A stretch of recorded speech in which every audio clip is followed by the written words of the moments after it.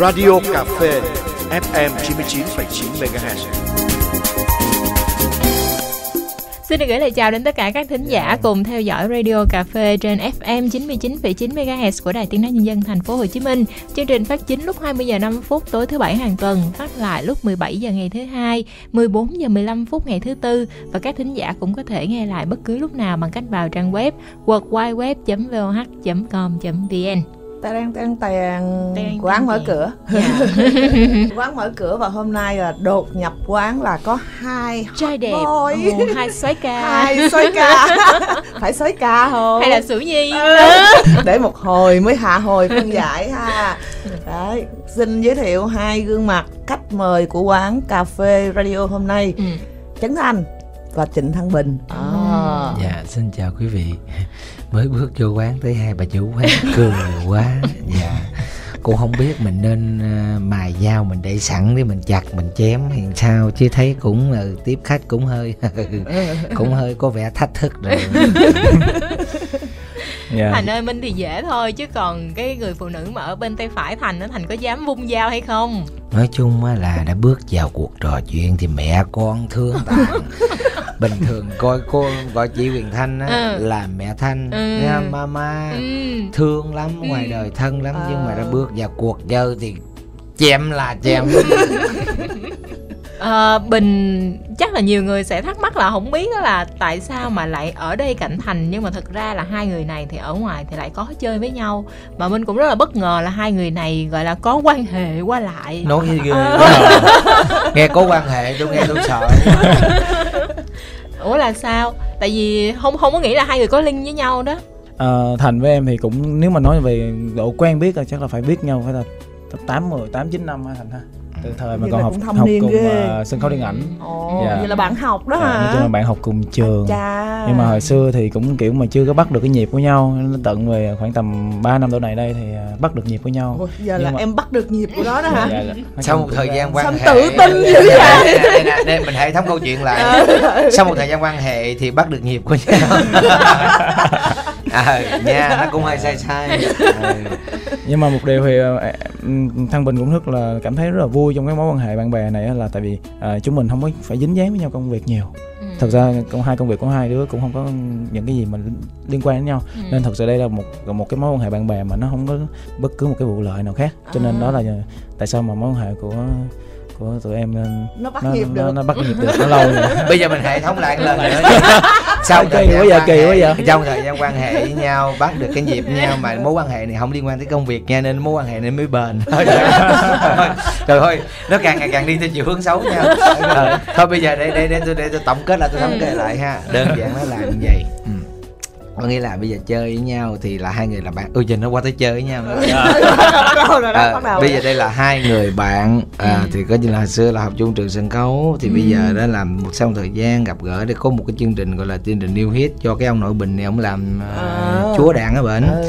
thì ông mời tham gia thì thời gian cũng gặp gỡ cũng nói chuyện Ừ. rồi xong là ông cũng à, khoái cô hài rồi ông cũng mến em Ừ. đó rồi cái hai người rồi chơi với nhau một thời gian rồi cái ông cũng có những ý tưởng lớn những điên rồ này nọ rồi cũng định làm phim viết kịch bản đủ trò Ừ. rồi bàn qua bàn lại thì cái chơi với nhau tới giờ. Rồi. thì nói là công việc không liên quan thì có nghĩa là giống như là mé là làm mảng âm nhạc mé là mảng mảng hài. hài. Thì nó không liên quan chứ mà hai mé mà làm âm nhạc chung thì nhiều khi chắc bỏ rồi chứ đâu chơi. Thành mà nó chuyển qua đi hát coi như là thấy là nó cạnh tranh nó đâu Ờ, có ưa. cái dòng nhạc sĩ nó đâu có ưa mình Mình. Cạnh tranh chứ nó đâu có ưa Rồi vậy à, bao nhiêu năm ở bên cạnh nhau như vậy đó Thấy Thành trải qua bao nhiêu sóng gió đó, Bình có nói được lời nào với Thành không? À, thật sự thì một trong những điều mà mà mà, mà Thăng Bình rất thích ở, ở Trấn Thành là Thành là một con người cực kỳ thật và thẳng thắn. Có thể là Thành Thành là một người cá tính Thành cũng cũng cũng là một người cực kỳ có cá tính rất là mạnh và Thành là một người mà không không ngại đứng về phía à, gọi là công lý. à, chính nghĩa đó Chính nghĩa. à, chính nghĩa đó hả. Đó là một trong những điều mà mà Thăng Bình rất thích ở Trấn Thành tại vì Trấn Thành là một một người ở vị trí ở vị trí của Trấn Thành là Trấn Thành có thể làm được nhiều thứ khác hơn hay là có những mối quan hệ mà nó nó nó nó nó nghiêng về vấn đề mà mà lợi ích hơn. Đây là nhân Nhưng vật mà- phản diện mà đóng vai chính nghĩa Đó, nè. Đó. đó. Đó nhưng mà Phức tạp mà- quá. mà- nè quá. nè mama mama thanh mama thanh tôi đề nghị mama thanh phải coi lại cái vị trí của trấn thành tại vì trấn thành đang nằm trong biệt đội Avenger ok? Ồ. Ờ. là anh hùng thứ thiệt Anh Hùng Thứ Thiệt đó. Dạ, mời mình tiếp tục. rồi đó. Iron Man nói chung là thành đang thành đang sướng lắm thành đang sướng lắm tại kiểu mà lâu lâu có người khen trước mặt đó không sướng anh này thì anh sao thích. tôi đâu có mượn mấy người tôi đâu có mượn mấy người tự để tôi biết mấy người lên à, tự tôi biết rồi. mấy người ca tụng chứ mấy người chà đạp. Ờ. Nhưng mà nói nói chứ Tôi xài à, hoài à. nói chứ là đó là thứ nhất. Thứ hai á là một một điều mà cực kỳ cực kỳ thích ở thành là thành một người. Tuy là các bạn ờ, ngoài mọi người nhìn thấy một chứng thành lúc nào cũng rất là dư năng lượng rất là kiểu mà gọi gần như là gọi là hơi tăng, tăng động tí xíu á. à, khùng thì nói đại là khùng chứ trời ơi. Đơn nhưng mà bên trong em em xài từ ngữ mạnh dạn lên một chút đi. À, Khùng. à, hơi Đúng khùng. rồi, ừ, khùng khùng, đi. Đó khùng. đó khùng. Đó vậy đi. Lâu lâu có việc được. Nhưng mà thật sự là anh này là một người mà bên trong anh này là một người nội tâm anh này cực kỳ là có chiều sâu khi mà khi mà thật sự là hai đứa mà một khi hai đứa mà có thời gian rảnh ngồi nói chuyện với nhau á thì em thề là từ 8 giờ sáng đến 8 giờ tối vẫn chưa hết chuyện. Khoan bây giờ mình nói khoan đại bây là nói nhiều bây chuyện giờ mình, mình hệ thống hệ thống này nữa hả? Đúng là Ủa? mình hệ thống quan nữa là à, sau một thời gian quan hệ bắt được dịp của nhau và mối quan hệ này là không có liên quan đến đến, đến công việc nha. nên rất là bền bỉ và quan trọng là có chiều sâu. Trước khi có chiều sâu là có tăng động và khùng khùng. À. có tăng động. Có tăng động. tăng và tăng động cái có câu chiều chuyện sâu. đi theo cái hướng càng ngày càng xấu. Ờ. Ờ. à, Xấu gì nãy giờ tôi thấy cái người này ngồi đây toàn là khen cái người bên kia không mà mà trong khi mục đích của tôi là ngược lại. ồ vậy hả? Chết chưa Ừ. không mà giờ mình khen trước đi chị. Thì bây giờ trước đi. nè bây giờ khen xong rồi đúng kết thúc là nhìn hình ảnh đây là một người là, là tăng động có chiều sâu đó Rồi, Đó, có chiều rồi. sâu. bây giờ là khen xong phải không? Bây giờ mới tới phiên bên này dập. Chứ bây giờ đúng không? À, Đúng Nè, rồi. mình muốn khen là không bao giờ được ý đó đúng Ừ. câu được ước thấy được giờ phải dập nè. Ừ. đó, bình nghe nè. Cái ông Trịnh Đăng Bình này đó tại sao chơi với ông ê ê ê không có được nói xấu bạn nha nói trước Nói đi, nói đi, nói đi, nói đi. không sao đâu không Mục sao đích đâu của chương trình này là dạch mặt. cái con người này đó là một cái con người mà thành á, trên đời này sống chỉ sống được với cái người nào sống thật thôi Ừ. tại vì trấn thành là cái người không bao giờ mà diễn được ở Ừ. ngoài đời lên sân khấu diễn diễn được nhưng phóng ra ngoài đời diễn tự nhiên nó sượng sùng nó kỳ cục giống như nó em thích ai là thích thấy không Ừ. đó giống như là nó thương má thanh là thương thương diệu minh là thương nhưng chặt thì mình vẫn chặt thôi ừ. không nhưng mà mình thương là mình thương còn mình không có giả tạo được Ừ. thì cái ông bình này là một trong những cái người sống rất là thật mình thấy là ờ bạn này sống đàng hoàng thật và quan trọng là nhìn bình nó lành tính Ừ. nó không có xạo xạo rồi giả bộ vụ lợi được cái, cái người này giống như, ờ, giả bộ hay hay có những cái người mà giống như mượn mối quan hệ này rồi để kiếm chát riêng cái kiểu vậy đó thì bình là không phải là cái người dạng đó. Ừ, sống sao thì sống vậy. Mà còn nếu không muốn nói là khờ. À. ông bị dụ chưa? hoài. Đó, thấy Xỉa chưa, thấy chưa, à. thấy chưa? Dạ. biết ngay mà trọng Hồi nãy ở ngoài sửa tôi bây giờ ông bị dụ hoài ông làm ăn cái giống gì cũng vậy cứ thời gian cái năm bữa mười hôm thành tôi mới làm cái vụ này mới hay lắm thành đã lắm cái cái cái mười hôm rồi cái thành ừ, tôi đóng cửa tôi không làm Ờ, cái hỏi sao vậy ừ, đối tác nó cộng tác mình mà nó nó nó nó nó bậy quá nó làm vậy sai hết trơn rồi ừ cái được năm bữa thành tôi làm cái mới này hay lắm. Ừ, tôi cũng hợp tác người kia tôi nói gan coi kỹ cho kỹ nha coi chừng đối tác nó xàm nữa nha. Không có đâu tôi điều kỹ hết rồi cái mười bữa hôm đó, ừ, đúng là thành nói đúng thiệt. Có nó nói vậy đó. Thì cái mình thấy là cái cha nội này vô hại thôi Đó, phải chơi. mình phải chơi với ổng để coi như là cứu rỗi cuộc đời của có có một cái bạn trẻ mà bồng bột. Trời. Ờ, thật sự là vậy mà sói ca gì kỳ quá vậy mình. phải sói ca tôi đã Sủ nói. nhé. tôi là sủ. Sủ cha không thật sự là một chết chết Ủa khoan mà nói Xong- nghe nè, chương trình này không phải là chương trình để hai người khen nhau. ờ kỳ đại quá. hội À. danh mặt đại hội ờ đại hội mặt. dành mặt đúng không Ừ. ừ.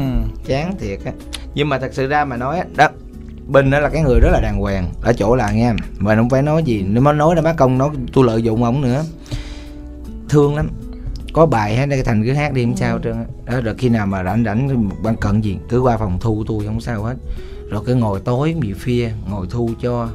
Đó nói chung là con người đàng hoàng thấy đáng yêu con người sống có tình có cảm đàng hoàng có trước có sau.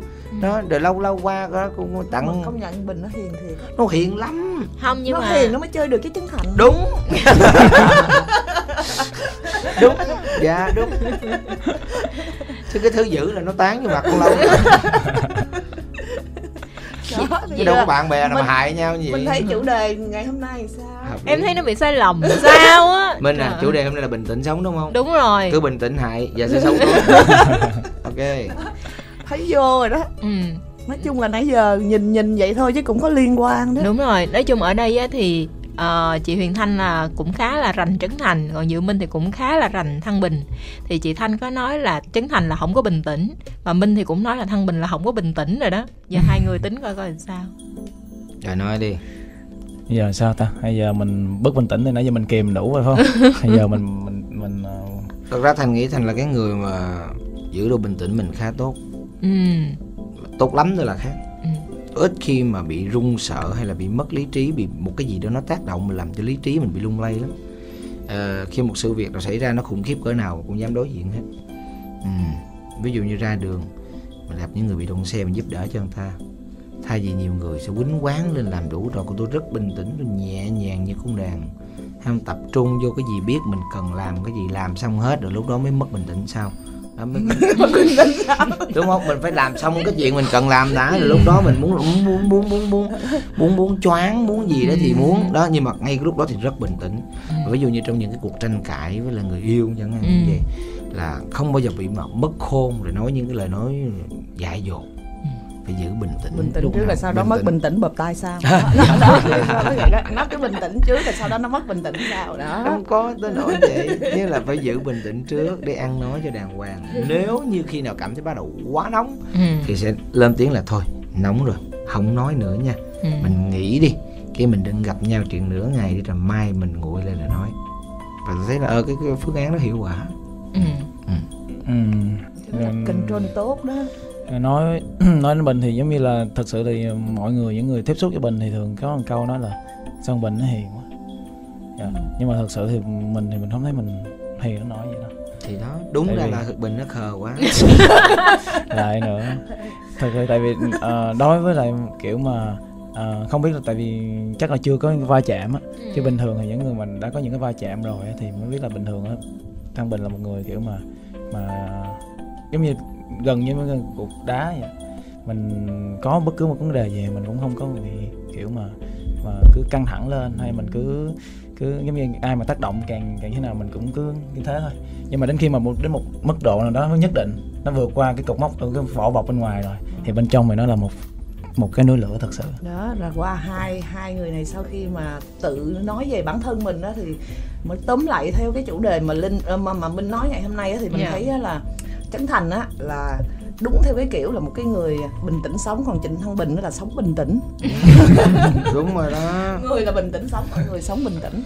Đó. sống bình tĩnh nghĩa là cái cái sao? dạng này là cái dạng mà cái người người ta gọi là chơ chơ cùng tuế nguyệt chơi chơi cùng tới nguyệt ờ, đấy là coi như là, là dù cho vật đổi sao rời thì mặt em nó vẫn cứ sáng ngời đấy thôi đấy. Ví dụ nha với ờ, một số những cái trường hợp mà bạn đã từng có những cái phát ngôn mà những cái phát ngôn của thành là tạo dư luận đó thì bình bình tĩnh kiểu gì? Nó bình tĩnh lắm nó mới phát ngôn. Sao đúng? Đúng luôn ừ. mẹ thanh hiểu. đó, mẹ thanh hiểu con đó. Ừ. thưa quý vị là tôi phải bình tĩnh tôi mới phát ngôn chứ. Ừ.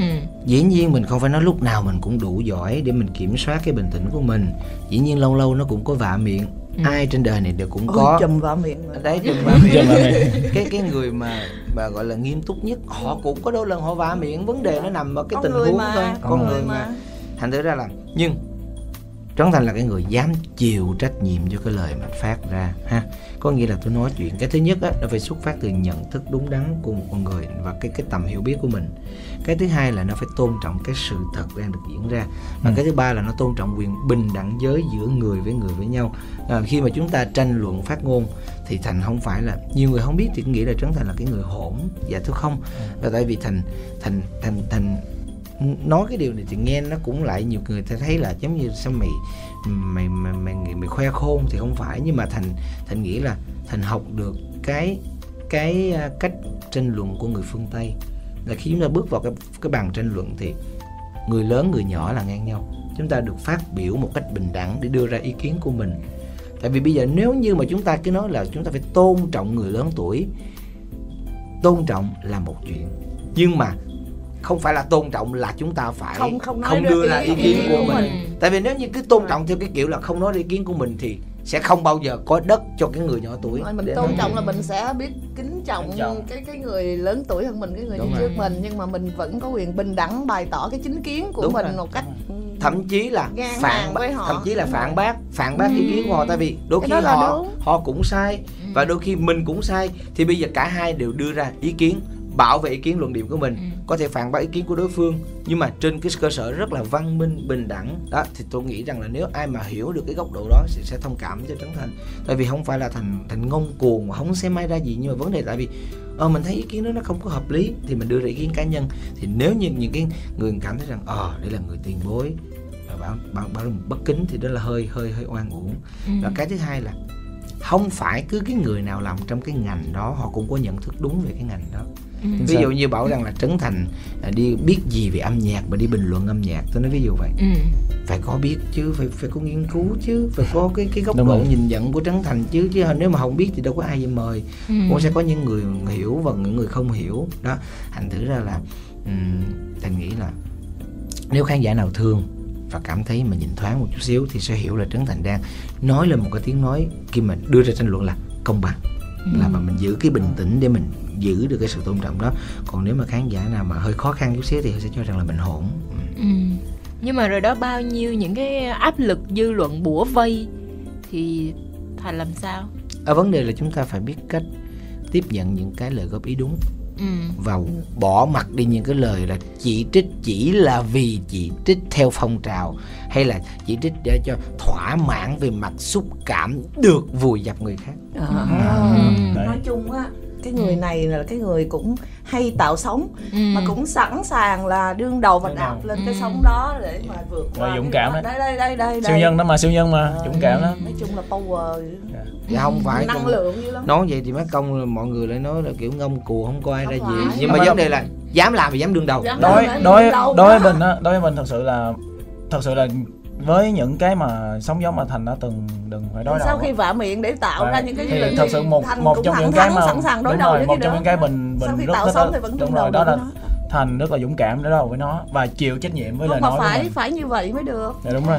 Vấn đề là em chỉ nghĩ là em là cái người à, ở đây là mình không có cái khái niệm đúng sai dạ đúng đúng đúng đúng, đúng. nó không có khái niệm chúng ta không có khái niệm đúng sai tại đúng sai nó phù hợp cho mỗi người đúng rồi nó là nó hoàn toàn nó thuộc về cảm tính và nó Dạ. thuộc về nhận thức của từng người có Đúng thể rồi. đối với anh cái điều này đúng nhưng mà đối với tôi thì không đúng rồi Ừ. chúng ta chỉ nói lên thôi tại vì ai ủng hộ thì ủng hộ không Đúng ủng rồi. hộ thì thôi vậy Đúng thôi rồi. chứ không có ai đúng hay sai cả và quan trọng hơn hết là thành nghĩ là thành là cái người dám nói lời cảm ơn và lời xin lỗi một cách Ừ. công khai à ừ. không ngại miệng nói lên hai cái điều đó. Nhiều người sao cảm thấy xin lỗi người ta làm một cái gì đó nó khủng khiếp lắm ôi không trời ơi. Mất mặt. À, ừ. xin lỗi đâu phải mất mặt. Ừ. xin lỗi là trưởng thành lịch sự và Ừ. văn minh. Chính xác là như vậy. Nói chung là đôi khi người ta biết nói cái câu xin lỗi có nghĩa là người ta hiểu về cái vấn đề đó. Người ta biết là người ta ở đâu. Cái vấn đề đó nằm ở đâu đâu phải là cái cái người mà chính là sau khi mà biết sai mà không biết xin lỗi thì cái người thì mình nghĩ là nó nó sẽ khó mà phát triển được lắm. Tại vì sai mà không biết nhận sai thì sao mà tiến bộ được đúng không? Mà những trong những lần đương đầu với sóng to gió lớn á ờ, có bị thương không? À thành á hả? À thương thì thế này này nói chứ nếu mà ai mà đụng chuyện mà nó không buồn cũng không đúng. Ừ. không tổn thương cũng không đúng đúng không không? tổn thương cũng không đúng nhưng mà vấn đề là cái nội công mình phải luyện một cái nội công để mà làm sao mà mình vượt qua nó một cách mà không để lại nội thương. Nó chỉ là ngoại thương thôi thì được. Năm nay đăng ký thi Got Talent nha. Dạ. tại vì à, nội công. cái gì ta mà làm giám khảo rồi thôi bởi giám khảo mà không thi nữa đâu. Ờ, ta cái gì mà là nội- nội thương á nó khó vá lành lắm. Tại vì nó cứ nằm trong đó hoài. Cứ để cho nó ngoại thương đi ha. Theo cơ chế thì nó sẽ lành lại. ừ. Nên nghĩ vậy tại vì vấn đề mình hãy nhìn sự việc một cách tích cực nhất có thể là à bữa nay nó như vậy. Nhưng mà bên cạnh những cái điều như tiêu cực như vậy nè Ừ. nó có những cái điều tích cực. Ví dụ tôi nói ví dụ như là sau một cái vấn đề mà có một số những cái comment là không đồng tình đi thì chúng ta phải đọc cái comment không đồng tình Đúng, đó với cái giọng văn gì. Đó là cái giọng văn góp ý nè cái giọng văn của những người văn minh lịch sự họ nói chuyện chân thành Góp với mình. chân thành. hay là những cái người là đúng là kiểu như sửu nhi là chỉ là Vui- vui lên lên đó là để vùi dập cho để, vì vì vì thích vùi dập vậy thôi. Thế nếu mà thích vùi dập thôi thì, thì Không mình phải. hãy bỏ qua. thật ra cái tâm lý chung con người á là như vậy nè. Có hai loại người thôi. Một loại người là người ta thích đi tìm những cái điểm tốt của của người khác để người ta học hỏi để người ta cảm thấy mình còn thiếu cái gì còn dở cái gì.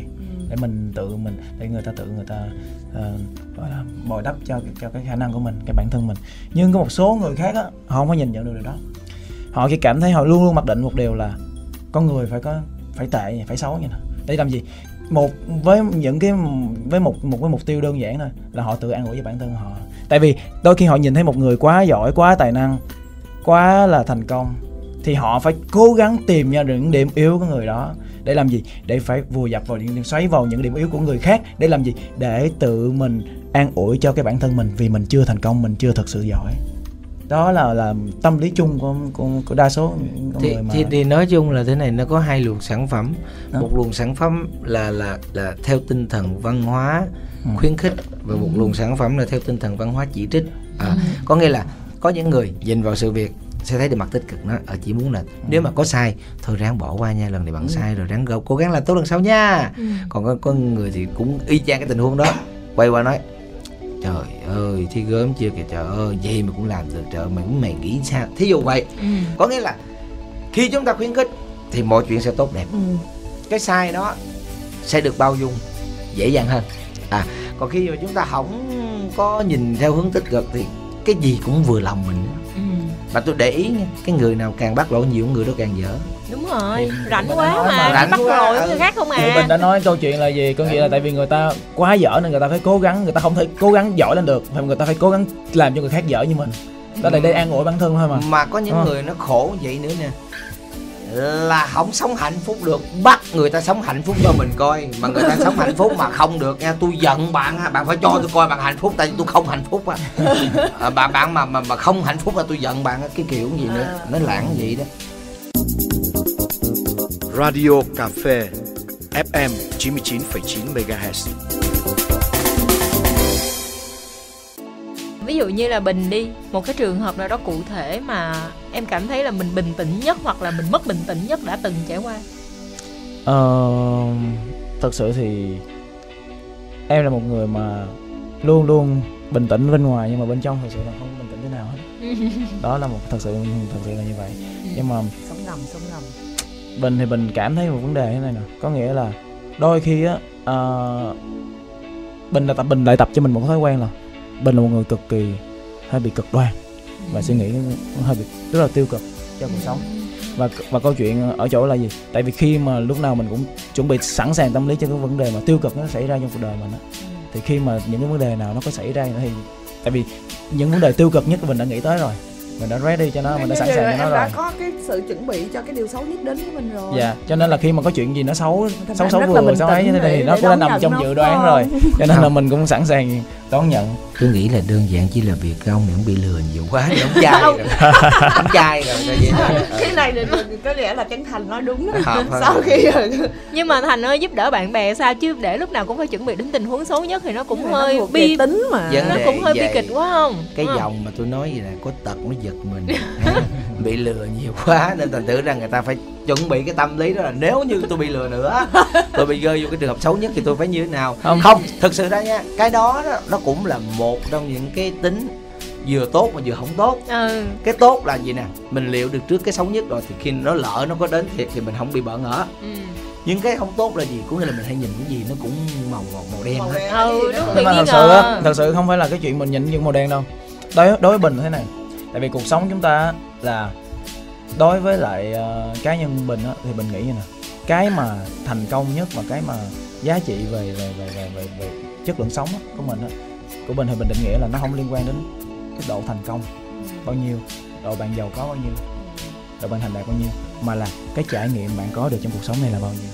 Đó là cái điều mà mình cảm thấy là nó không có mua được bằng tiền nó cũng không có cũng chưa chắc là có nhiều người có thời gian cũng trải nghiệm được điều đó. Cho nên câu chuyện mà bình sẵn bình luôn luôn sẵn sàng với mọi cơ hội, với mọi tình huống và với mọi trải nghiệm. Tại vì sao? Bình thích để trải nghiệm được trải nghiệm điều đó. đó mà sau khi trải nhưng mà thế này nè tôi, anh anh thích trải nghiệm bị lừa đúng không không phải vấn đề là vấn đề không phải là trải nghiệm bị lừa có nhiều kinh nghiệm có nhiều kinh nghiệm nhiều kinh nghiệm à. bị lừa nhưng bây giờ là đưa qua mọi hình thức lừa nữa đó ví dụ như năm nay bị lừa một kiểu này năm sau trải nghiệm thì một kiểu lừa khác. nhưng mà câu chuyện là thế này nè tại vì á thật sự á tại vì bình bản thân bình cũng là một người trẻ và bình cũng là một người rất cần những cơ hội ừ.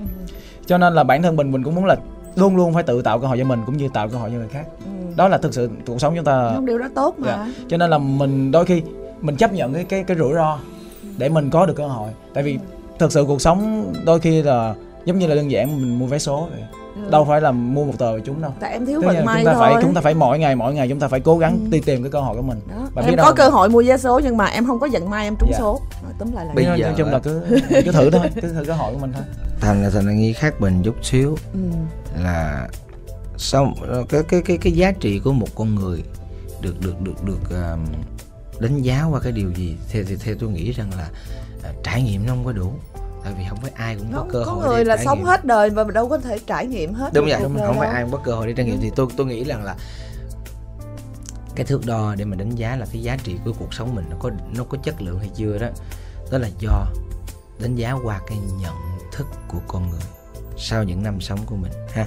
Có những điều mình không cần trải nghiệm mà mình phải tưởng tượng nó ra.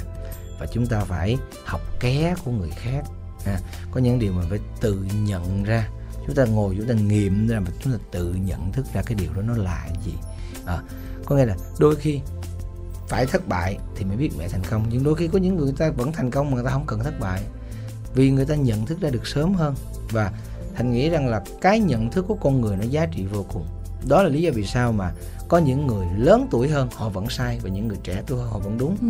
à, nó chỉ nằm ở cái chỗ là chúng ta phải để ý là cái quãng thời gian để họ tiếp nhận cái cái cái cái cái tư duy vào đầu mình là bao nhiêu cái đầu mình nó giống như một cái ổ cứng á thì ai là cái người mà có cái người mà có dung lượng nhiều nhất để À. chứa được nhiều cái điều hay những cái tư duy tốt trong đầu mình nhất thì người đó mới là người có giá trị sống tốt nhất bình đồng Chỉ bình, chứa thôi bình, hả? bình cũng đồng đồng ý đồng tình cái một phần nào đó chứa và nên có có cái cách phát ra một cách Đúng rồi. tích cực Ờ, sau khi chứ chứa phải có ứng dụng được chứ mà- phải ứng dụng được nhưng- chứ. đúng rồi nhưng mà bình bình thì bình lại lại nghĩ thế này nè. Có nghĩa là thật sự á hồi xưa ông bà ta nói một câu rất là hay là đi một ngày đàn học một sàn khôn. Thật sự chả có sách nào tại vì sách bán được rất nhiều ngoài đường và chúng ta có thể đọc bất cứ một cái cái triết lý sống nào chúng ta có thể thể biết bất cứ một cái công thức nào trong cuộc sống bất cứ mọi thứ về thành công và thất bại ờ thế nào thất bại thế nào thành công. Thì đâu có rất bao giờ là nhiều. rồi. nhưng câu chuyện là sao? Câu chuyện là cái sự trải nghiệm được từ cái việc đó bằng thực tế bằng thực tiễn bằng chính bản thân mình bằng chính mồ hôi và xương máu của mình. Thì đó là một bài học cực kỳ cực kỳ đắt thì cho đó cái vấn đề đúng rồi mà- đó là cái cảm cảm nhận của em cái cảm xúc và cái cái cái điều em đón nhận. Bởi vì chị thấy một cái điều như vậy nó sẽ không bao giờ nó có được một cái mẫu số chung cho tất cả mọi người. Mỗi người nó sẽ có một cái cái cách nhìn cuộc sống khác nhau một cái cách mà đón nhận cuộc sống nó khác nhau một cái cách ứng xử nó khác nhau và một cách mà vui nó cũng khác nhau buồn nó cũng khác nhau. Mỗi người sẽ có một cái ờ, chuẩn khác nhau cho cái chất lượng sống của bản thân mình. Đó thí dụ như với thành thì thành thành thành thích nạp vô tất cả mọi cái đó rồi có lúc là sẽ phát ra. Nhưng như với bình á thì bình thích nó có những cái trải nghiệm đôi qua trải qua những cái kinh nghiệm sống tự chính bản thân của bình. Đó vấn đề quan trọng làm sao là uh, trong những cái cái cái cái trải nghiệm cuộc sống của mình hay trong những cái mà mình nạp dung nạp ở ở xung quanh mình vô mà nó tạo được cho mình mình cảm thấy bản thân mình mình hạnh phúc mình vui với điều đó mặc dù có thể là thất bại có thể là thành công có thể gì nhưng mà để mình mình mình mình mình mình có tìm được một cái Yeah. cái feeling đôi khi như giống như là có niềm là, vui là, cho bản là, thân mình là, là mẹ thanh nói một Ừ. câu một cái rất là hay. Có nghĩa là thế nào?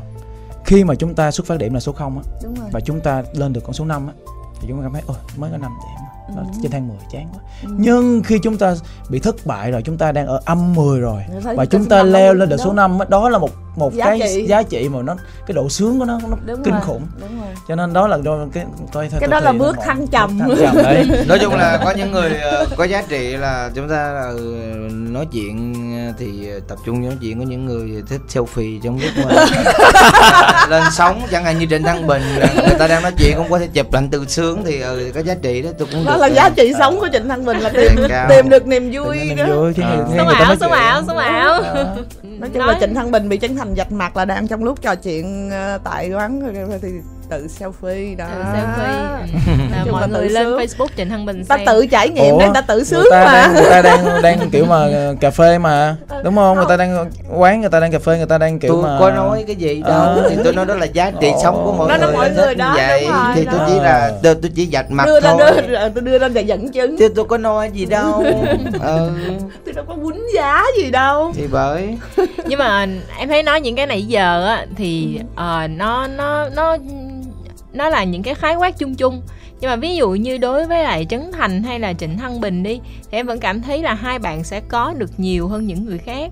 Và bình tĩnh sống á, nó là một cái gì đó giống như là mình vượt qua khó khăn, thử thách để mà, gọi là, giữ cho cái tâm an chẳng hạn, ví dụ vậy. Nhưng mà nghĩ là hai bạn thì cái thử thách và khó khăn của mình nó không nhiều có phải ra hai Trời bạn này không phải hai cái bạn này là trong cái môi trường của hai bạn này thì bình tĩnh không chưa có đủ đâu. Ừ mà phải là bản lĩnh sống á phải À. nâng tầm nó lên như vậy nó mới được. Chứ còn bình tĩnh đó là nó chưa có có Chưa áp phê, chưa áp đủ phê đối với trong một cái môi trường như thế này đâu. Thật ra nói như, như, như má thanh là đúng là tại vì thế này nè.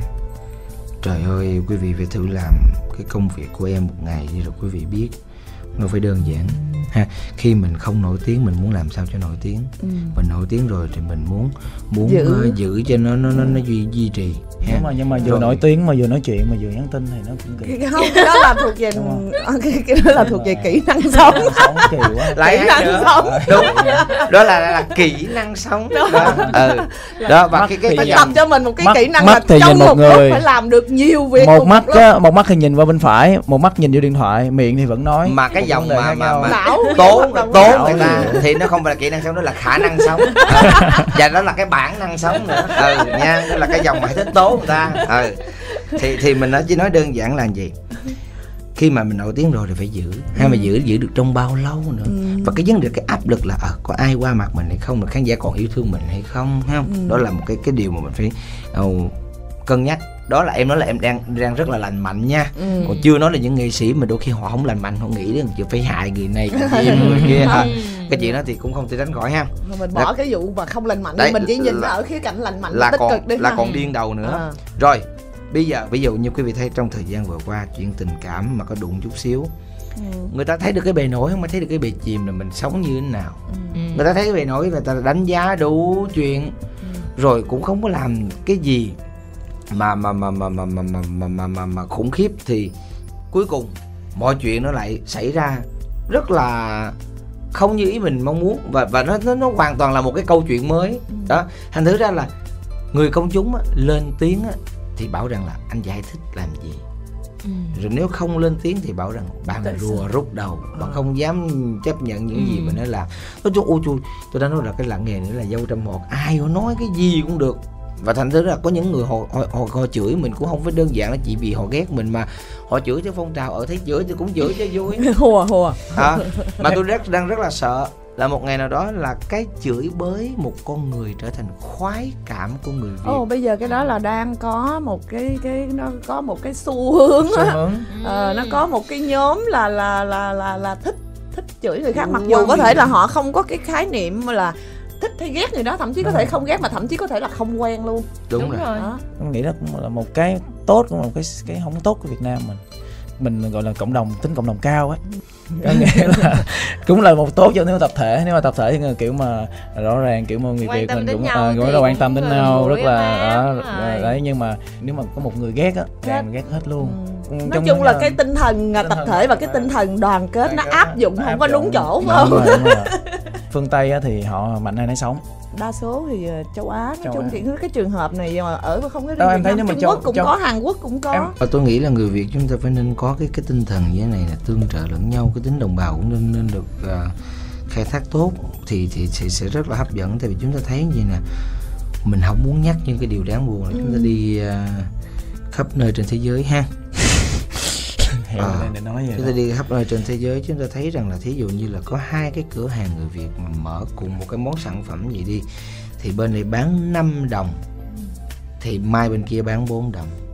Cái À. mốt bên này bán 3 đồng bố bên kia bán 2 đồng. Có là họ cạnh tranh không lành không lành mạnh và bản thân họ không có cái cái tính tương trợ lẫn nhau.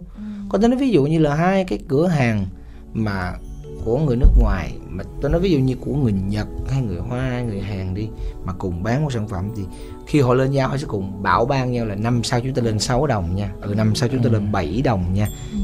Nó nó nó có cái tinh thần như vậy. Thành thử ra là à, tôi nghĩ là người Việt Nam chúng ta nên học cái điều đó. Tại vì nó rất tốt nó giúp nhau cùng tiến bộ chứ nó không có giúp nhau cùng đi xuống. Tại vì vấn đề chúng ta cạnh tranh rẻ hơn bên kia thì làm công phải nhiều hơn thôi để có nhiều cái lời hơn chứ bây giờ đúng không có nhiều khách Đúng hơn mà rồi. mình tiền lời mình ít lại thì mình cũng phải làm nhiều hơn cực hơn rồi ví dụ một cái gì đó ai làm sai thì thay vì bạn nói một câu nghe lọt cái lỗ tai người ta sẽ làm đúng lại người ta cho mình cái hay ừ. tự nhiên người ta mới làm sai cái nhào vô chửi bới rồi nói này nói nọ rồi chà đạp tinh thần ta xuống mà không bao giờ nghĩ là nếu mình bị cái trường hợp đó mình bị như vậy rồi sao mình sống thí dụ vậy không phải đâu thành phải thành phải hiểu vấn đề này. ví dụ thật sự á, sai mỗi ngày mỗi lúc đều có người sai câu chuyện ở đây là tại vì sao tại vì chúng ta được quá nhiều người biết và họ biết được mình đúng rồi cuộc sống mà Và- ai cũng có sai đúng mà đúng vấn rồi. đề chẳng qua là những người, Người nổi tiếng thì bị nhìn vào đúng còn rồi. bao nhiêu người bình thường khác Và sai một- đầy rẫy qua đâu ai và để một cái quan đâu. trọng khác nữa là thế này khi mà người mà không thành công á Ừ. thì họ sai á thì người ta sẽ nói là ơi đúng là cái thứ đó là không thành công không là thành đúng công là đúng rồi sai là đúng mà cái thứ không thành công là sai đúng. Dạ, nhưng câu chuyện là gì? Câu chuyện là khi mà càng thành công rồi thì thì cái cái vấn đề mà những cái sai nhỏ thôi nó sẽ thành Nó cái sai thành lớn cái sai lớn. Tại vì sao? Soi. cái sai nhất của bạn là tại sao? Bạn thành công quá bạn thành công ở giữa một cái một cái một cái chuỗi người mà người ta không thành công. Không cái điều đó khi mà nổi tiếng là phải chấp nhận điều đó chấp- thôi. chấp là, nhận, là sống chung với lũ mà. Ừ. thành ra mới phải tự dặn mình là nên bình tĩnh sống. Ừ. thành ha? Vì vậy cho nên đúng bình tĩnh sống là một cái câu mà tôi nghĩ là nó nó nên luôn luôn được áp dụng đúng không? Phải áp dụng thôi. Tại vì nếu mà chúng ta không áp dụng á thì cuộc đời nó có quá nhiều cái nhức đầu. Mà bây giờ cứ mỗi lần đụng chuyện cái tự nhiên mất bình tĩnh là cái sống trật đi. Có nhiều người á họ sai có chút xíu thôi mà vì dư luận xã hội rồi thành kiến mọi người cái tự nhiên cái suy sụp cái trở thành người sống xấu. Nhưng mà rồi. ra bình với thành là cái cái cái nhìn ở cái góc độ mà bình tĩnh sống của mỗi người nó như thế nào? Cái, cái Thế đó- đa số người Việt Nam chúng ta đang bị một bệnh là trụ họ đụng một cái chuyện gì họ suy sụp khủng khiếp. Mà buồn cười cái này là chúng tôi nói cái điều này ra thì lại nói nó thấy nó cũng hơi hơi căng thẳng là họ rất thích chửi bới người khác họ thích chỉ trích người khác nhưng lại rất sợ người ta công kích mình dù chỉ là một lời nói nhỏ mới chết. Đúng rồi. Bởi sao tôi thấy là họ rất là buồn cười ở cái điểm đúng đó. rồi. Có nghĩa là bây giờ quý vị có thể ra quý vị thấy là mọi người lên Facebook chửi nhau ầm ĩ tan nát. Chửi người ta thì không tiếc rẻ một từ nào nặng nhất để có thể chửi bới người ta. Nhưng mà khi mà người ta nói gì mình nó góp ý dù chỉ là chưa có đụng gì tới là cái tôi đã nhảy sóng lên và bảo rằng là bạn đang xúc phạm tôi mà trong khi họ đang xúc phạm người ta nặng nề hơn thì họ không cảm giác được điều đó. Ừ. thành thế đó, đó cái vấn đề nó nằm là vấn đề là thì đâu có cảm giác được cái điều đó nó xảy đến với người khác mà Đấy. chỉ có khi xảy đến với bản thân họ họ mới cảm được Đúng thôi. Thì bởi vấn đề là nên nó không phải là cái chuyện là có hay không cái dạng người này trong xã hội là bị gì. Cái dạng người này thì lúc nào trong xã hội nào thì nó cũng phải có. Cái dòng mà càng chửi người ta nhiều thì càng sợ người ta tổn thương mình. Ừ. nhưng cái vấn đề ở đây là sao người Việt Nam mình nhiều thế? Trời ơi. Thì phải bớt lại đi chứ để văn minh hơn chứ. Không thôi thì, chết mất. Ôi trời ơi nhiều quá. Không phải đâu thành. Mình cũng nhìn nhận đơn, đơn giản thế này nhá. Cộng đồng mà gọi là ờ, internet á là có những một người cái cộng đồng. có một cái cộng đồng là họ thực sự là thứ nhất là họ rảnh. Họ rảnh thì họ mới- người mới- Việt Nam đều, đúng rồi. đều, đều đây mới hỏi nè đây mới hỏi nè tại sao quá nhiều người rảnh thấy không? Thì đấy. Thì bây giờ vấn đề nó nằm ở chỗ là tại sao quá nhiều người rảnh? Không phải tại vì mà em lên Facebook em chơi internet thì mình đôi khi là mình gặp mấy cái người mà rảnh đó là mấy người đó mới lên mới lên nhiều. và mới mới mới quan tâm mới, mới chuyện. đụng mới Còn quan tâm đến những người khác. chứ còn mà, giờ đây nói à, đây mà nói thật ra cái chuyện nhiều khi mình thân với thành mà nhiều khi cái chuyện xảy ra đùng đùng á nhiều khi làm nhiều khi mình cũng không tại vì hay. khi khi khi mà, nếu mà không có người nói hay không ai nói nhiều khi là tại vì mình cũng không có đọc qua mình cũng không có lên face và tại vì đúng rồi. tại vì cái kiểu mà khi mà một con người bận rộn với công việc của mình và và và họ đang có bận rộn với nhiều nhiều nhiều nhiều công việc trong cuộc sống á thì họ sẽ không có thành không không có nhiều thời gian để họ đi đi soi những chuyện của người khác không nhiều liên hay quan đến không mình mình. phải tính cái số lượng đó so với dân số của mình chứ. Không có nghĩa là vấn đề nó vậy nè. Vấn đề nó vậy nè. Chúng ta thấy ờ, rõ ràng là tại sao tôi nói như vậy. Tôi thừa biết một cái chuyện là những cái người mà họ có đủ thời gian họ lên mạng họ viết một cái comment để họ chỉ trích nhiều người á ừ. đa số là những người đúng rảnh thiệt. Họ rảnh họ mới đi họ chỉ trích quá trời. Còn cái người mà người ta đóng góp xây dựng á người ta âm thầm lên ta viết cái nhỏ nhỏ đóng góp Ừ. với lời lẽ ha, trả tử Chừng tế. Ừ. rồi hoặc là người ta không nói thường những người ta tử tế người ta mà, mà, mà ủng hộ người ta không, không nói có nói trên cái cái đó cộng đồng chỉ có hai dạng người tử tế thôi là lâu lâu lên viết được vài dòng đẹp đẽ đó là Ừ. người ta chân thành với mình Ừ. cái người thứ hai là người ta không nói luôn ta âm thầm ta ủng hộ tại vì người ta không thành có ơi mình là người thứ hai nè thành. Dạ người thứ hai đúng không? Là không, không, không bao giờ comment vớ vẩn. Đấy. Ý là mình âm thầm ủng hộ thành đó thành. Đấy có nghĩa là Ừ. lâu lâu mà cái gì cần thì người ta mới comment thôi chứ còn không bức xúc thì thôi người ta âm thầm ta ủng hộ hoặc người là ta không nói. hoặc là in, chỉ inbox cho cái người đó đúng không? mà vấn đề tôi nói như nè cái tôi nói đây không phải chỉ nằm ở trên facebook. Trời ơi nó nằm ở ngoài đời cơ chứ facebook không nói làm gì tại vì tôi thừa biết facebook chỉ là cái mặt nổi của xã hội. Những bạn trẻ lên trên đó nhiều hơn là những người thành đạt nhiều. Chứ không phải là ai cũng lên facebook tại vì Chính những xác. người thành đạt nhiều người ta không có thời gian để chơi cái trò đó. Thì tôi nói là ở ngoài đời chúng ta vẫn gặp quá nhiều con người thích chỉ trích thích soi mối mà khi đụng tới mình chút xíu cái là này nảy lòng nảy lửa lên. Thì bây giờ kết luận là gì? Chúng ta trước khi mình thốt một lời nào đó mình gây tổn thương người khác. Hãy nghĩ là nếu mình là cái người mà bị tổn thương như vậy thì mình sẽ bị như thế nào? Chúng ta hãy nên đặt mình vào cái vị trí của cái người bị gây hại á. Vậy thôi. Tôi tôi tôi tôi chỉ nghĩ là chúng ta nên như vậy thôi thì xã hội sẽ tốt hơn nhiều. Nói chung là mình ờ, mong ước đó là cái hành xử mọi người trong những cái tình huống như vậy là thật ví dụ như người ta mình nghĩ người ta sai thì cái cách mình góp ý người ta như thế nào? Chứ còn đúng đúng như thành nói là bây giờ là nó càng thấy nó càng ờ, nhiều người ta khi mà gặp được một cái tình huống gì nhiều khi chưa biết đúng sai như thế nào bắt đầu nhảy bổ vô là chà đạp về tất cả mọi cái như là cái chuyện đúng rồi á. Đúng rồi. mà thậm chí là nhiều khi cái Mà vấn đề vui chưa nhất- biết vấn đề đó Đúng rồi. tê như thế nào nữa. vui nhất là người ta không biết Chính rõ xác. cái vấn đề đó là cái gì. Và cái thứ hai là cái vấn đề đó không phải của mình. Trời ơi cái đó là Đúng điều- rồi, cái cái thực chuyện tế cái chuyện của tế mình. mà mình nói là đáng buồn hiện nay là nó có một ừ, số, những cái người là là là là, Đúng rồi là xử lý hành xử như vậy nó đáng buồn là như vậy. Nhiều nhiều khi có những cái chuyện trong showbiz vừa rồi á thì tại vì em nghĩ là mình thì cũng không đủ ngôn từ để bảo vệ ai cả thành ra mình đành im lặng. Nhưng mà cái mình phải thấy hàng hả? Trời chứ không phải sao vậy mẹ mì mình nói cùng một fan mà. Nhưng mà thiệt sự tự này nó luôn, tự bộc phát vung dao ở bên này nè không phải vung dao ở bên này. Trời Rồi. ơi lộn rồi. Rồi Đó. cắt dao vô ok. Cất dao vô để nói tiếp. Nhưng mà đó mình thấy nhiều người á là nói như đúng rồi mà người ta nói là nói giống như là chui dưới gầm giường nhà người ta vậy đó. Ừ. ờ mình thấy cũng quá đáng thấy nghệ sĩ cũng tội nghiệp. Hay là cũng cũng tội chứ quý chị tội. Có tội không? tội. Có tội không? Nhưng mà riêng với Trấn Thành thì nên Nhưng xem mà- lại đúng không? nhưng mà có một câu mà mình rất là buồn ở ở một cái ờ, một cái cái cái cái cái cái gọi là nhận thức và một cái định nghĩa của khán giả Ừ. khán giả họ thế này họ luôn nghĩ có một số ít nhé mình không biết là phải là số đông không nhưng mà họ, họ là nói một câu mình bản thân mình mình cảm thấy với một con người mà làm nghề thì mình cảm thấy bị tổn thương tại vì họ bảo là nghệ sĩ là người ăn cơm cơm của nghệ sĩ tiền của nghệ sĩ đang có là do chúng tôi cho Ừ. cho nên là chúng tôi có quyền nói có quyền comment có quyền thì đó chỉ là một số người nào người ta ta nhìn nhận như vậy thôi. Thật ra cái Đó. này nó là quy luật Thì- cung thì- cầu mà. thì- thì- bạn thích xem thì bạn phải bỏ thì tiền ra mua thì, vé. thì câu chuyện ở đây là câu chuyện ở đây là gì? Bên vẫn vẫn bình vẫn sẵn sàng. Câu gì? Đúng không? Đúng rồi. Câu chuyện là chúng tôi đang sống và nhận được đồng tiền từ những cái vấn đề mà của khán giả họ mua chúng tôi gần như có thể gọi là gần như mua. Họ mua chúng tôi để để, để làm những công việc đấy. Và họ có quyền góp ý đóng góp thậm chí chỉ trích những sản phẩm mà chúng tôi đang bán đó là những sản phẩm nghệ thuật. Chúng tôi đang không bán cuộc sống cá nhân của mình. Chúng tôi hoàn toàn không kinh doanh không vụ lợi không bán không hoàn toàn không có một bất cứ dịch vụ nào về cái cuộc sống cá nhân của mình. Cho nên các bạn có thể thậm chí chỉ trích thậm chí bất cứ một cái gì các bạn muốn nếu đó là những sản phẩm chúng tôi đang có dịch vụ đó là những sản phẩm nghệ thuật.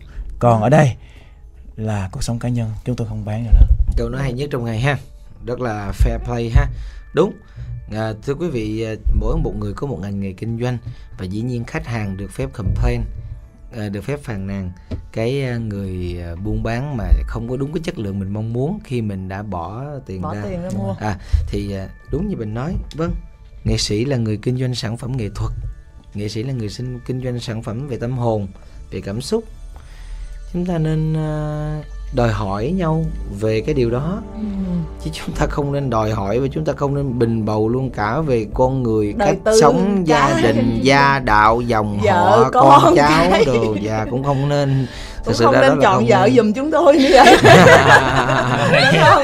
dạ cái đó không dám nói nhưng không mà nên chọn vợ giùm tôi yêu ai cái bắt đầu nhào vô góp ý thế này thế kia nữa là không đó nên thì chọn vợ em không dám nói nhưng mà thật sự ra thì là tại vì um, nghĩ là vậy nè. Tại vì um, đúng bình nói hay á bình nói rất là hay chúng tôi muốn kinh doanh cái dòng sản phẩm gia đình chúng tôi kinh doanh dòng nhà sản phẩm ờ, cuộc sống thành thử ra cái gì nó nó nó chúng tôi vẫn là một con người vẫn vẫn là một con người bình thường như bao nhiêu người khác thì chúng ta nên thế này thế này thế- đừng có bảo rằng là tôi nghệ sĩ các bạn đã chọn kiếp này các bạn phải dám chấp nhận bị người ta nói vâng. Thì đúng rồi thì thật sự ra phải bây giờ thế này nè nói đúng ra là không Hả? ai cản quý vị nói được không ai cản được. Cái này cả thế giới không ai cản nhưng chúng tôi chỉ là là là gọi là năn nỉ thôi nhưng mà không nên nói. Vậy thôi chứ ai mà cản được. Radio Cà phê FM 99,9 MHz. không mà mình thấy vậy thấy chứ thật sự là sau bao nhiêu sóng gió sau bao nhiêu mà mà mà mà mà thăng trầm trong ờ, trong trong trong cuộc sống thì rõ ràng đến giờ thì uh, chứng thành của chúng ta đang vẫn được rất là nhiều. Là mọi người yêu quý bằng chứng là em vừa rồi sau cái vụ mà nóng hỏi ờ, mấy cái vấn đề mà uh, vạ miệng uh, hay là những vấn đề về tình cảm cá nhân trước đây nè. Thì tết này anh này đi diễn nghe đồn là tiền lì xì của anh nhiều hơn tiền diễn nữa tiền lì xì khán giả đó lên mà coi như là anh lên anh diễn anh chưa kịp diễn nữa là tiền lì xì không là có tiền lì là là có như ở- đó rồi nhưng mà coi như anh chưa kịp diễn đó là anh đứng đó thôi là cứ lên là lì xì thôi. Bớt đồn. Đó. Ủa có clip luôn rồi mà. có clip luôn rồi mà đăng báo luôn rồi mà. Nè đó. bớt đồn tin đồn la liệt. Ha mới nói người ta ha rồi bây giờ đồn bậy đồn trật nha. Clip có đó mà bao nào bao nấy 10 ngàn ha 5 ngàn không. Về đếm mà muốn rớt nước mắt vậy đó hả? Hay không? Chưa? Chứ đâu phải là con bỏ rồi, rồi. Chưa chưa kể đâu một. phải lì đâu phải là ai đâu. cũng chất lượng với ai. Đâu phải là bao lì xì 50 triệu hay đâu. Ờ, không tất nhiên năm là, ngàn đó, đô đó là, đúng là bao không? nào bao nấy 10 ngàn 5 ngàn khán năm ngàn giả. đồng chứ phải năm ngàn đô hả? 5 ngàn đồng. Khán giả phát lộc gọi là phát lộc cho đó có rồi nghĩa là đó. đã vui rồi rồi cái bây giờ live show á là là coi như là, là chưa gì hết là cháy vé rồi Ừ. bây giờ coi như là người thân muốn, muốn kiếm Đây. vé cũng không được luôn coi như là gọi điện thoại mà người ta không thèm nghe nghe, nghe, nghe máy luôn mai tôi mua cho Đó. ba cái giọng rồi tôi mang đến đó đó, rồi đó mà. ngồi ngồi đó chơi ngồi ngay giữa sân khấu đó rồi coi nha ừ. giọng mẹ ngồi gác chân lên đùi ha rung rung rung rung rồi coi nửa chương trình rồi có người dân nước trà bánh rồi ra hầu hạ đứng cái bên cái máy lạnh quạt mát đồ khăn lạnh đập đập nhớ nha. Đó. đó, nhớ nha. Đó, thấy ba cái giọng cho ba người này trên sân khấu nha. Đó thấy ảnh chưa? Bình tĩnh lắm. Chứ, chứ bây giờ mình nói chuyện với cái con người này phải nói chuyện vừa. Ha, phải đẩy lên sân khấu tôn thờ để chính giữa chánh điện để cho đi ai đi ngang thấy đường để ta biết được thắp nhang bữa sau chị chích à. không là bữa sau chị chích đó. Radio Cà phê FM 99,9 MHz.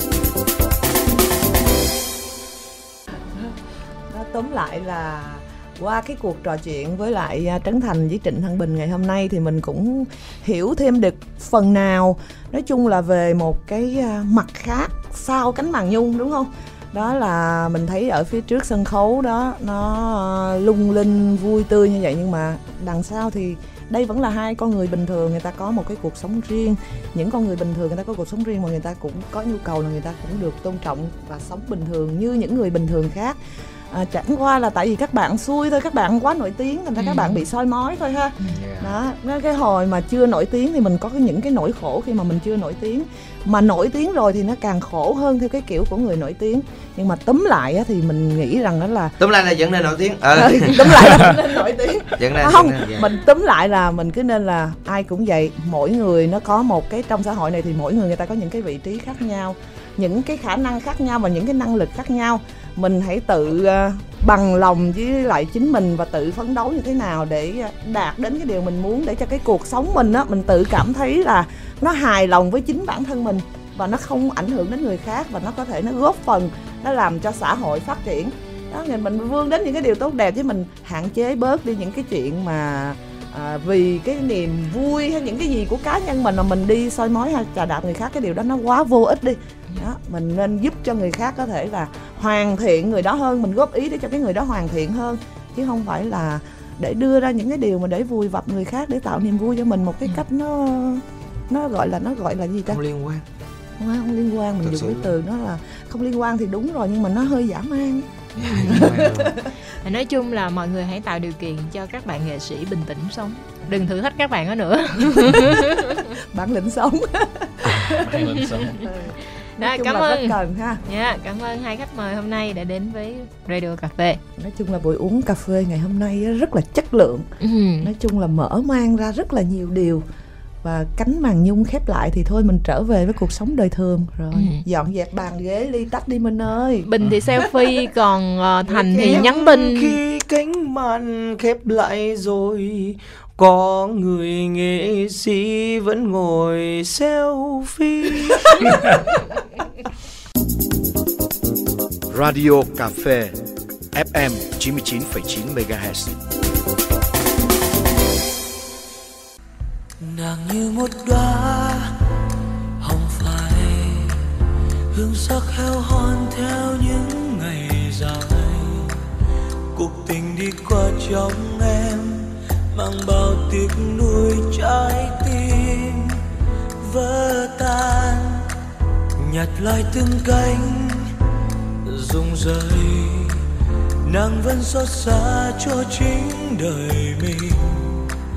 Vì người em yêu đã nói, dung nhan tuyệt vời nhất thế gian là em khi em như hoa nhạt màu, anh quên khi ta có nhau những phút ân ái lần đầu. Cho tim càng thêm nhói đau, cánh hoa tàn cánh hoa tàn dưới chân nàng, dưới chân nàng. Là cả tuổi xuân dây theo môi tình sương rơi trên cánh lụa hồng, hay nước mắt em ngóng trong mong tình sẽ đến một lần. Bên em để thôi nhớ mong cánh hoa tàn cánh hoa tàn dưới chân nàng, dưới chân nàng. Là cả tuổi xuân dây theo môi tình nàng khóc cho mình.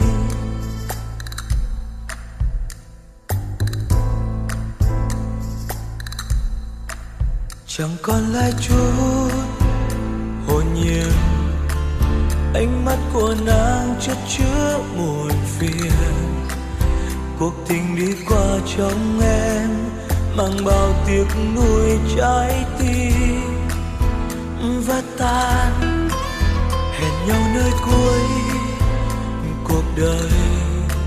Sẽ có với nhau giây phút tuyệt vời mà đời đâu như trong mơ, để lại bơ vơ nỗi đau. Mình em khi em như hoa nhạt màu, anh quên khi ta có nhau, những phút ân ái lần đầu, cho tim càng thêm nhói đau. Cánh hoa tàn cánh hoa ta, dưới chân nàng, dưới chân nàng, là cả tuổi xuân rơi theo môi tình. Sương rơi trên cánh sẽ đến một lần. Bên em để thôi nhớ mong cánh hoa tàn cánh hoa tàn dưới chân nàng. Dưới chân nàng. Là cả tuổi xuân rơi theo môi tình. Nàng khóc cho mình